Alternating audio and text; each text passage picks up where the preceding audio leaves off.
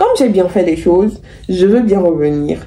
Permettez-moi de revenir. Mais les Béninois disent non. Mais c'est non. On veut le gars qui nous a permis de te mettre là. Vraiment, je me lâche sur l'histoire de mon pays, sans forcément commenter. Je ouvre là ce qui s'est passé à MMO. Et franchement, depuis, je pense que je m'en sors. Je suis grave d'humeur parce que j'ai parlé des présidents du Bénin. Je me suis dit, Jean, on demande à ChatGPT pour juste avoir le script déjà là et on pond un truc pour euh, les présidents du Bénin. Story, story. Hello.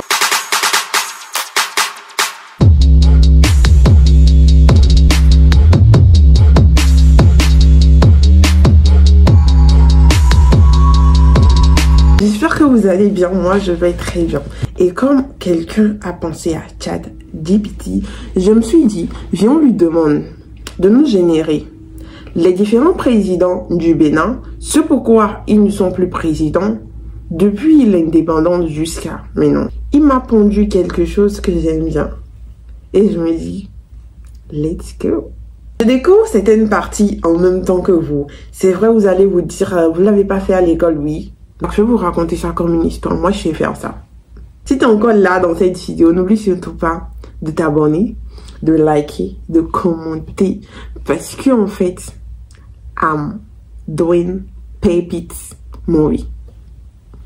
L'indépendance du Bénin a été le 1er août 1960. Donc au moment où on a eu notre indépendance, notre tout premier président a été Hubert Maga. Hubert Maga, d'où euh, le plus grand centre hospitalier actuel avant que le prochain ne naisse, c'est le CNHU. Centre hospitalier Hubert Maga. Si tu le connais pas, c'est que...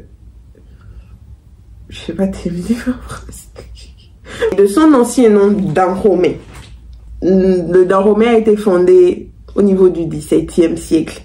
Et nous sommes plus culturels et nous, avons, nous avions une armée d'Amazon. Voilà pourquoi nous avons plus priorisé de faire une statuette en Amazon qui est assez imposante, qui impose le respect le Dahomey est devenu une colonie française au niveau du 14e siècle. Comme je disais, on a une autre indépendance et tout par rapport à la République française.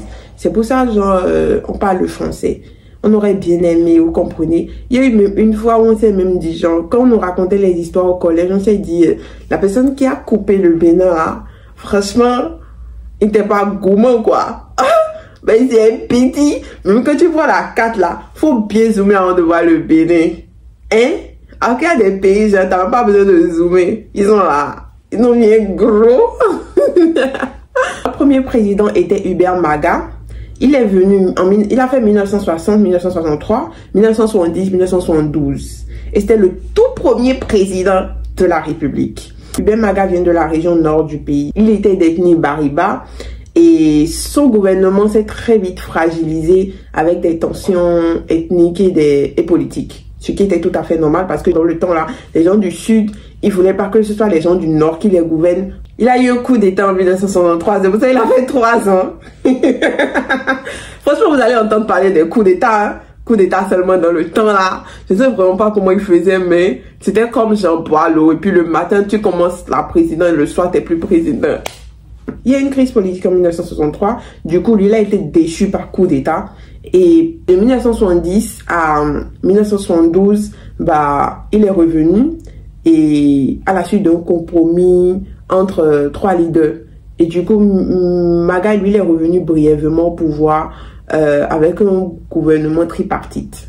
Je vais chercher la définition de tripartite, pourquoi c'était ça, et je ça quelque part là. Quand il a eu son premier coup d'État en 1960, en 1963, pardon, pendant pratiquement toute une année, c'est sûr que c'est les militaires qui ont dirigé. Généralement, quand il y a un coup d'État, c'est ça. Et du coup, euh, en 1964, ils se sont décidés finalement à ramener un président. Et ça a été Soumigan Akpiti, qui est venu de 1964 à 1965. Lui, il était du sud, est du pays, vers, la, vers Porto-Novo là-bas. Et son second mandat, parce que lui aussi, il s'est fait frapper un coup d'État. Durant tout son mandat, le pays était instable politiquement.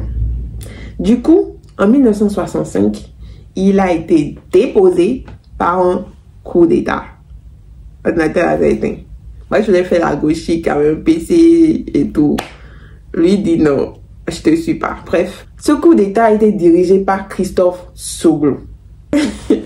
Ensuite, on a eu Justin Aomandegbe Tomete. Lui, il a fait 1964, 1970 à 19... Il venait de la région d'Abomey. Pendant le mandat de Tomete, euh, lui aussi, il a été renversé à cause des différentes querelles politiques internes. Mais il va revenir euh, avec une gouvernance collégiale de 1970 à 112. Et lui aussi, il a subi un petit coup d'État en 112.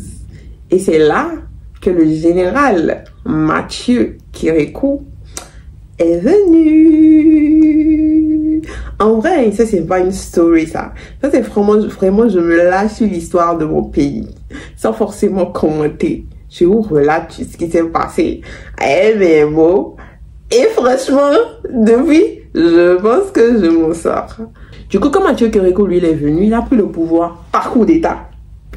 Et du coup, c'est là que lui nous a amené l'idéologie sur le massisme, léninisme, qui signifie, je vais vous mettre ça quelque part. Et il va renommer le pays République populaire du Bénin. Et il l'a fait, je crois, en 1975.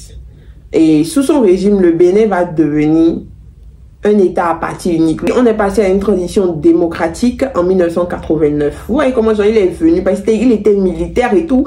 Et il s'est dit, euh, du coup, il a pu imposer un peu pour calmer les gens qui avaient l'habitude de dire non, je veux pas que telle personne prenne, non, je veux pas que telle personne prenne. En 1989, sous la pression nationale et internationale, il va abandonner le marxisme-léninisme. C'est là qu'on a eu la conférence nationale des forces vives de la nation. Si vous suivez mes différentes d'histoire dans Music Life, vous allez savoir que c'est toujours en 1989-1990 qu'il y a eu plein de gros gros trucs, euh, des affrontements de fous, des trucs comme ça au Bénin.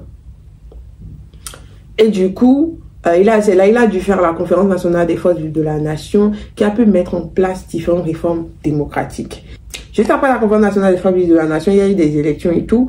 Et fort Dieu donné Soglou qui a pris le pouvoir. Je me rappelle, genre, quand j'étais petite, et les gens parlaient, ils disaient que quand et Soglo était là, qui voulait faire des routes, et les gens lui disaient, c'est la route, on va manger, et éliminer doigt.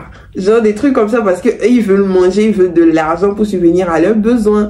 Et là, il a pu faire un mandat de banalement 5 ans et va devenir le premier président qui a été élu de façon démocratique juste après la conférence des forces de la nation en 1990. Et lui va faire des réformes économiques durant tout son mandat en mettant en œuvre de nombreux euh, trucs qui vont permettre de soutenir les différentes institutions internationales. Je pense que c'est tout ça qui a fait que on a été un peu propulsé légèrement en haut. Voilà. Mais il s'est dit, en 1996, comme j'ai bien fait les choses, je veux bien revenir. Permettez-moi de revenir. Mais les Béninois disent non. Mais c'est non. On veut le gars qui nous a permis de te mettre là. C'est lui on veut. Du coup, c'est là Mathieu Korekou est venu en 1996 et il a fait deux mandats. Du coup, euh, est parti en 2006. Et en 2006, on a eu euh, et on a eu quel, truc maintenant Oh La chanson de Yahi Boni là, faut que j'aille chercher ça là.